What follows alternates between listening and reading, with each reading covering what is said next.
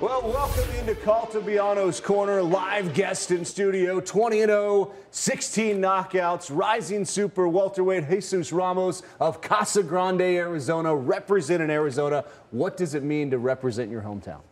Um, well, first of all, thank you for having me. So I appreciate it, and um, it means a lot. You know, there's uh, there's not a lot of boxing, and um, it's a really small town. So it means a lot to inspire the, the, the smaller generation, you know, the, the next generation of, of not necessarily boxers, but just kids, you know, that anything is possible. Even though we come from Casa Grande, um, anything is possible if you put your heart into it, you know, and uh, that's why I want to pave the way. Well, you got a big fight coming up here with Erickson Lubin on September the 30th on pay-per-view. What does your path to victory look like?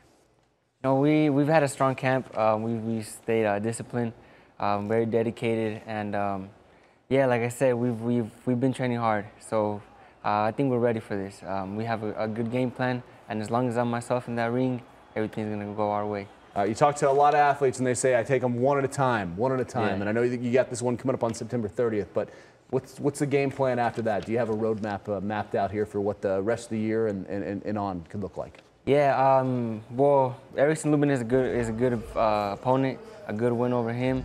I think I'll be knocking on the on the door of a, of a championship soon. So we're also excited about the pay-per-view card. You're on the same card as Canelo. What does that mean to be on that card? It's big. You know, I feel like he's the, one of the biggest fighters right now in boxing.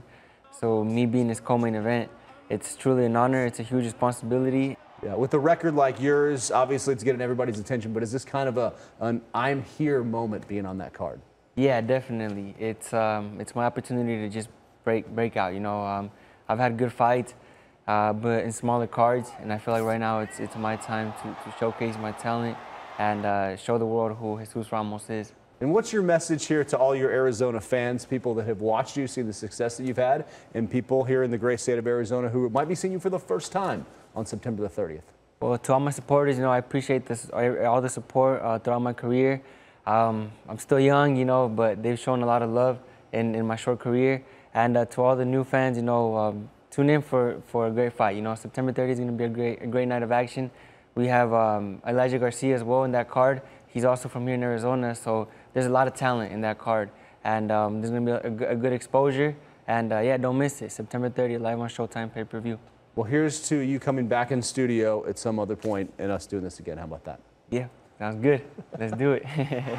Jesus Mono Ramos. Yeah, big fight Saturday night. We take a live look at Las Vegas. The extra point is in the books for this Tuesday evening. We'll see you back here tomorrow night, same time, same channel.